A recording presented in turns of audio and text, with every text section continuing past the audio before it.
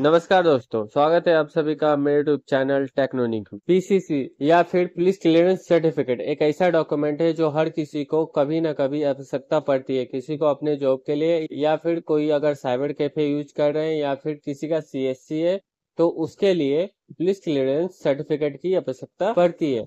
तो आज हम इस वीडियो में देखेंगे वेस्ट बंगाल में पुलिस क्लियरेंस सर्टिफिकेट पीसीसी किस प्रकार से अप्लाई करते हैं। तो इसके लिए ब्राउज़र ओपन करेंगे और यहाँ पे सर्च करेंगे पीसीसी वेस्ट बंगाल सर्च करने के बाद जो पहला लिंक आएगा, उस पर क्लिक करेंगे तो कुछ इस प्रकार से पीसीसी पोर्टल ओपन हो जाएगा।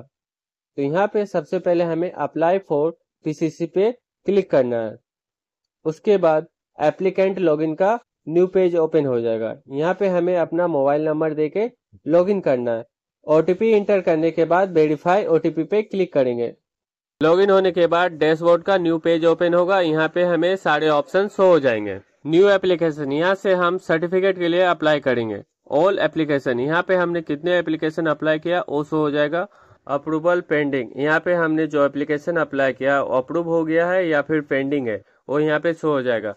पेमेंट पेंडिंग, जितने भी एप्लीकेशन अप्लाई किया, उनमें से कितने के पेंडिंग है, वो यहाँ पे शो होगा। सर्टिफिकेट इशू सारे पेमेंट होने के बाद एप्लीकेशन इशू हुआ है कि नहीं, वो यहाँ पे शो हो जाएगा, या फिर हमारा एप्लीकेशन किसी कारण से रिजेक्ट हो गया है तो एप्लीकेशन रिजेक्टेड शो हो जाएगा। तो सबसे पहले हम यहाँ पे न्यू एप्लीकेशन पे क्लिक करेंगे। उस एप्लीकेंट का न्यू पेज ओपन होगा। यहाँ पे हमें अपना आधार वेरिफिकेशन करना है।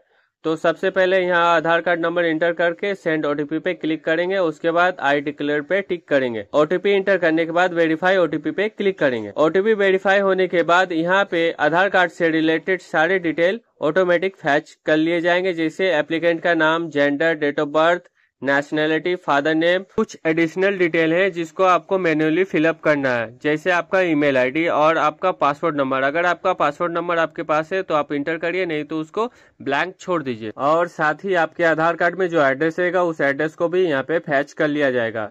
उसके बाद आप वेस्ट बंगाल में कितने साल से रह रहे हैं, उसको यहाँ पे मैन्युअली सिलेक्ट कर लेंगे। उसके बाद नीचे आपका पुलिस स्टेशन किस डिस्ट्रिक्ट में पड़ता है, उस डिस्ट्रिक्ट को सिलेक्ट कर लेंगे। साथ ही आप अपना पुलिस स्टेशन सिलेक्ट कर लेंगे। उसके बाद नीचे अगर आपका एड्रेस सेम है तो सेम अस परमानेंट एड्रेस पे टिक कर लेंगे, नहीं तो मैन्युअली फिलअप कर लेंगे।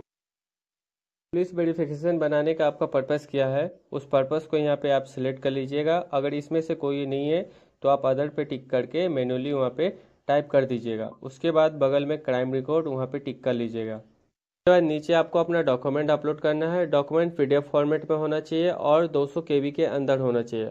और जो भी आप डॉक्यूमेंट अपलोड करेंगे, कोशिश करिएगा ओरिजिनल डॉक्यूमेंट को अपलोड करने का। जीरोस कॉपी नहीं चलेगा, नहीं तो रिजेक्टेड हो जाएगा। उसके बाद यहाँ पे रेफरेंस रेफरेंस किसको देना है? यहाँ पे बोला नहीं गया है बट आप कोशिश करिएगा अपने अगल बगल के जो लोग हैं, उनका रेफरेंस देने का।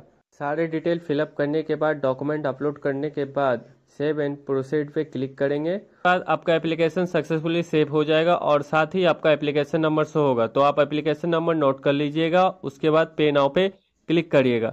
तो यहाँ पे आपको तीन सौ रुपये का पेमेंट करना है। तो आप अपना पेमेंट कर लीजिएगा। सक्सेसफुली पेमेंट होने के बाद आप ऑटोमेटिक डैशबोर्ड पे रिटर्न आ जाइएगा। यहाँ पे आपका एप्लीकेशन शो हो जाएगा और आपका पेमेंट पेंडिंग है तो पेंडिंग क्लियर होने में कुछ समय का टाइम लगेगा। या फिर अगर किसी कारण से आपका पेमेंट फेल हो जाता है या फिर कोई प्रॉब्लम होता है तो पेमेंट पेंडिंग पे क्लिक करिएगा। यहाँ पे क्लिक करने के बाद आपका एप्लीकेशन शो हो जाएगा। तो यहाँ पे पे नाउ का एक ऑप्शन होगा।